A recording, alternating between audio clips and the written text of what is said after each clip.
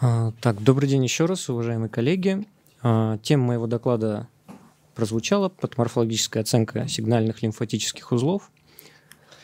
А, позвольте начать с описания общего процесса гистологического исследования. Он включает в себя непосредственно аналитический этап, то есть работу в лаборатории, оценка препаратов, микроскопия, выполнение иммуногистохимических исследований, так и препреаналитический этап, который включает в себя направление на исследование, забор, собственно, материала и его транспортировку. Преаналитический этап, который включает в себя вырезку э, и работу дальнейшую с материалом, подготовку его к дальнейшему анализу, а также постаналитические этапы, которые заключаются в написании заключения и непосредственно интерпретации врачом. Э, что касается направления на гистологическое исследование. А, существуют определенные а, рекомендации, существуют определенные правила по написанию этих направлений. А, в частности, что касается лимфатических узлов, желательно указывать, выполнялась ли биопсия этих самых лимфатических узлов. Если выполнялась в нашем институте, в вашем учреждении, необходимо указывать, собственно, реферальный номер исследования для последующего сравнения либо использования этих а, препаратов для обнаружения метастазов.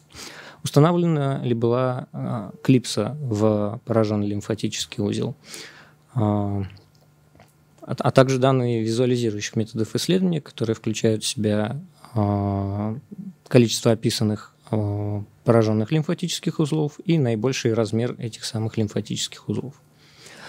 А, далее. А, что касается транспортировки материала и почему это критически важный момент а, для оценки гистологической последующей. На слайде вы видите эффект от задержки фиксации в формалине полученного материала. То есть мы видим, если материал сразу фиксируется, то иммуногистохимическое исследование а, проводится без особых проблем. Если же у нас а, произошла задержка фиксации больше 4 часов или даже больше 8 часов, то, к сожалению, а, проведение иммуногистохимического исследования может быть просто неинформативным, так как мы не получим соответствующие результаты. Либо мы воспримем их как ложноположительные или ложноотрицательные. Второй момент транспортировки – это время холодовой ишемии, то есть время а, от момента удаления хирургического образца из организма человека до а, момента а, начала работы с ним патоморфолога. И здесь стоит сказать, что рекомендованное время холодовой ишемии – это около одного часа. Если же не получается в этот момент доставить материал, либо у патоморфолога, патоморфолога нет возможности начать с ним работать, то рекомендуется а, хранить материалы в а, холодильном устройстве, так как это помогает в дальнейшем при оценке гистологического материала при микроскопии. Далее, еще один важный этап – это преаналитический этап, в котором основной момент это вырезка препаратов, и в котором основную роль играет патоморфолог. Он тоже способен совершать ошибки. А, на слайде вы видите интересную работу. А, авторы пригласили двух патоморфологов и предложили им а, обоим произвести вырезку из одного и того же присланного материала. Оценили они таким образом 50 случаев. То есть сначала один патоморфолог осуществлял вырезку, затем второй пытался найти максимальное количество лимфатических узлов. Как вы видите, общее количество описанных лимфатических узлов а, одинаковое, а вот количество обнаруженных а, вторым патоморфологом лимфатических узлов, оно заметно снижается с течением времени. Это косвенно отражает то, что первый патоморфолог просто-напросто научился правильно вырезать эти самые лимфатические узлы, и авторы данной работы, они предлагают использовать такой подход в обучении патоморфологов. А, едем дальше. Собственно, аналитический этап и а, то, что должно быть указано в окончательном заключении, а именно а, статус лимфатических узлов, количество лимфоузлов с макрометастазами, с микрометастазами, с изолированными опухолевыми клетками, максимальный размер метастатического очага, наличие экстранодального распространения, а также его размер. В общем, достаточно большое количество показателей. Чтобы это визуализировать, изолированные опухолевые клетки в данный момент классифицируются как рассеянные или опухолевые клетки или их кластеры меньше 0,2 мм. Микрометастаз – это опухолевый очаг больше 0,2 мм, либо а, меньше 2 мм. И макрометастаз – любое опухолевое поражение лимфоузла больше 2 мм. Собственно, к этому тоже мы пришли не сразу. А, по мере того, как развивалась биопсия сигнальных лимфоузлов, развивалось и их патоморфологическое исследование. А, отражением этого являются множество работ, опубликованных на эту тему. Одна из них представлена на слайде слева. Автор ее уже упомянутый сегодня Армандо Гулиано, который был одним из авторов, собственно, первой работы по биопсии сигнальных лимфоузлов. Так вот, когда по результатам этой работы, в случае, если используется не просто стандартное гистологическое исследование в виде одного среза окрашенного гематоксилином азином, а еще дополнительные срезы, а, либо использование иммуногистохимии, то частота обнаружения а, оккультных метастазов, то есть изолированных опухолевых клеток или микрометастазов, а также макрометастазов возрастает в несколько раз. А, в это же время, то есть это 90-е 2000-е годы, провели интересную работу европейская группа по скринингу патологии молочной железы, и они пришли к выводу о том, что в 240 а, центрах, которые они оценили, существует 123 различных протокола оценки сигнальных лимфатических узлов, которые так или иначе отличаются друг от друга. Собственно, налицо проблема стандартизации. А, более того, а, чем глубже копали патоморфологи, то есть чем больше они обнаруживали изолированные опухолевые клетки и микрометастазы, а, тем сильнее проявлялся так называемый феномен, феномен Уилла Роджерса или феномен миграции стадий, когда пациенты с разным прогнозом, с благоприятным и с неблагоприятным, попадают в одну группу с неблагоприятным прогнозом. Собственно, это было замечено, и в последующем было предложено классифицировать в ТНМ э, изолированные опухолевые клетки как ПН0, то есть не пораженные лимфатические узлы. Э, в последующем, уже в 2011 году, был, были оценены долгосрочные эффекты обнаружения оккультных метастазов. И действительно было обнаружено влияние на общую выживаемость и безрецидивную выживаемость. Но с точки зрения а, абсолютной разницы а, в 1,2% это мировым сообществом было воспринято как клинически незначимая разница. Поэтому, собственно, все продолжают считать, что изолированные опухолевые клетки и микрометастазы это все-таки пациенты с более благоприятным прогнозом. Хотелось бы обратиться к ключевым исследованиям э, по изучению биопсии сигнальных лимфоузлов, а именно э, описать их с патоморфологической точки зрения – лимфоузлы в исследовании NSABP-B32 а, исследовались следующим образом, то есть использовалось рассечение лимфоузла на 2 мм, окраска гематоксилиноазином, а затем использовалось изучение двух дополнительных срезов, то есть не стандартное, просто гематоксилиноазин, а еще два доп. среза. В исследовании оказок Z0010 был похожий подход, но использовался затем один дополнительный срез. Они, собственно, подтвердили предыдущие результаты э, о том, что нет разницы в выживаемости значимой между оккультными метастазами и пациентами с пораженными макрометастазами э, лимфоузлами. При этом э, при стандартном изначальном изучении среза по гематоликсилиноазину, то есть при первом, было обнаружено 99,5 макрометастазов в исследовании NSABP B32, что, мне кажется, достаточная цифра, чтобы не проводить дополнительные какие-то исследования, учитывая время, затраченное на это, и учитывая стоимость, затраченную на это.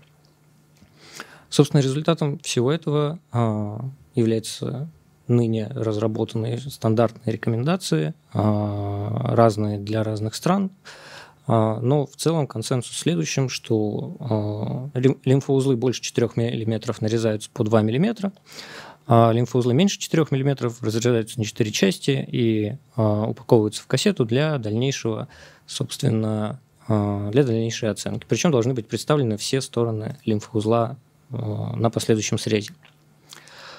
В 2022 году группа собственно, исследователи из Европы проанализировали существующие клинические рекомендации европейские в 34 странах.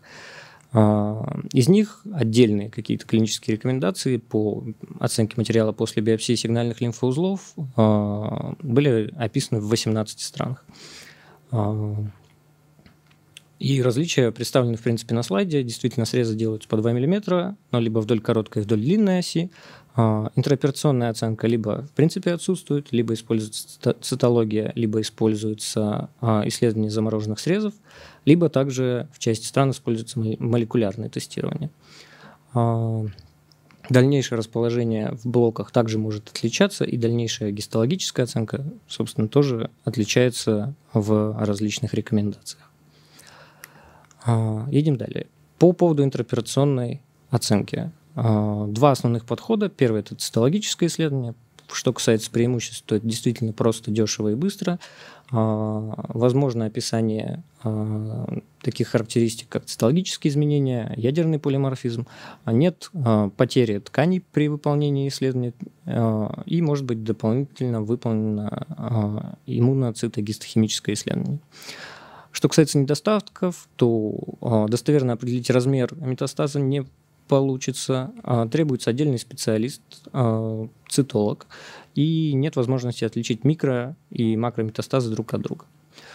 Что касается исследования замороженных срезов, а, мы получаем сохраненную архитектонику лимфатического узла, точное описание, где находится метастаз, есть ли экстранодальное распространение, в принципе, возможное описание.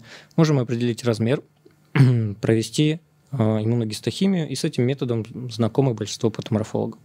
Средняя общая чувствительность метода 73%. Касаемо макрометастазов это 94%, а микрометастазов 40%. А что касается недостат... недостатков метода, долговременный метод относительно цитологии более дорогой, присутствие артефактов после заморозки, что видно на а, снимке слева снизу. И мы часть ткани, к сожалению, безвозвратно теряем при выполнении этого исследования.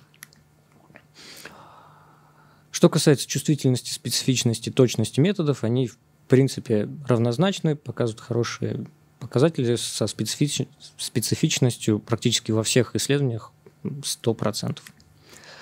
Есть еще один метод интраоперационной оценки, а именно а, одноступенчатая амплификация нуклеиновых кислот а, с хорошей чувствительностью и специфичностью. В данный момент применяется в основном в Великобритании, и около 12% их госпиталей, в принципе, пользуются этой методикой. Проблема метода заключается в том, что мы практически полностью теряем материал при использовании данного метода.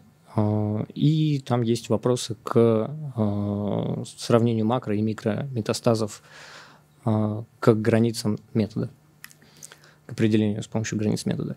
Последующие исследования с использованием, использованием биопсии сигнальных лимфоузлов, а, к сожалению, так подробно не классифицировали, не рассказывали о патоморфологическом исследовании, то есть в их протоколах не было отражено подробностей. Тем не менее, морфологов это на самом деле не сильно расстроило, их интересовало следующее. А, то, как а, это исследование повлияло на практику. В частности, исследование Казок Z0011 привело к тому, что значимо заметно снизилось использование а, интраоперационной, а, интраоперационного исследования замороженных срезов при а, патоморфологическом исследовании. В одном из госпиталей, если в 2009 году 100% пациентам выполнялась данная процедура, то в 2015 это число составило 2% для пациентов, которые подходили под критерии включения этого исследования. А, и раз уж мы заговорили об исследованиях, закончить а, эту тему хотелось бы а, данной статьей. Она интересна с точки зрения того, как клинико-патоморфологические характеристики влияют на частоту ложно-отрицательных результатов, за которые так сильно гонятся исследователи, клиницисты при исследованиях, собственно, БСЛУ или при исследовании таргетной аксиллярной лимфодиссекции. Есть независимые характеристики опухоли, такие как низкий грейд, такие как наличие измененных опухолью не сигнальных лимфатических узлов, причем в ряде случаев множество данных лимфатических узлов, что приводит к тому, что мы получаем ложно-отрицательный результат. А более того, а, статус рецепторов, а, в частности гормон позитивность, также является фактором, который независимо, статистически значимо влиял на частоту достижения ложно-отрицательных результатов. Таким образом, можно сделать вывод, что достичь ФНР равной нулю ну, просто невозможно ввиду некоторых характеристик опухоли.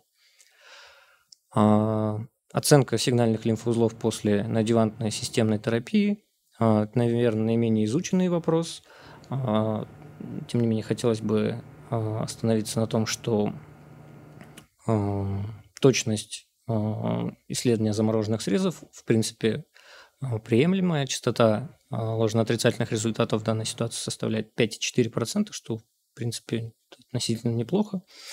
Что касается патоморфологических характеристик, которые нужно описывать. А, здесь есть особенности, так как для расчета стадий по AGCC, то есть стадий по ТНМ, и для расчета а, индекса RCB а, нужны два разных размера. Один включает максимальный размер опухоли, включая прилежащий фиброз, а другой включает просто размер, максимальный размер опухоли без этого самого фиброза.